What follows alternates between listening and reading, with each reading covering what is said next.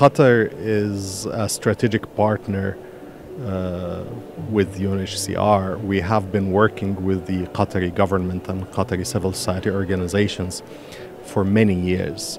Uh, we have a privileged relationship with the government of Qatar.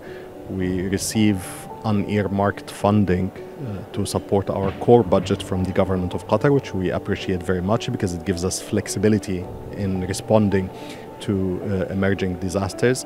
On the other hand, we uh, have very strong relations with uh, NGOs in Qatar, like Qatar Charity, like Eid, uh, like Education Above All, and most importantly with Sheikh Thani bin Abdullah, our largest uh, eminent advocate and supporter of UNHCR worldwide. Yemen is one of our largest operations, and as you rightly mentioned, uh, we have a very big number of people who need assistance in Yemen, both uh, internally displaced people and refugees.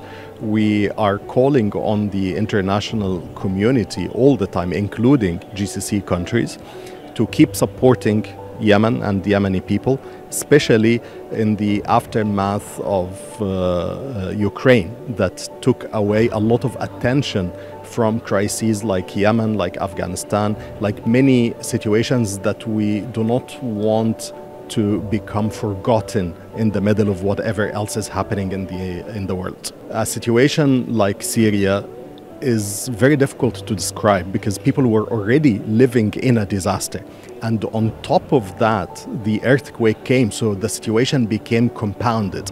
In the humanitarian system, we have a term to describe armed conflicts. We call them complex emergencies.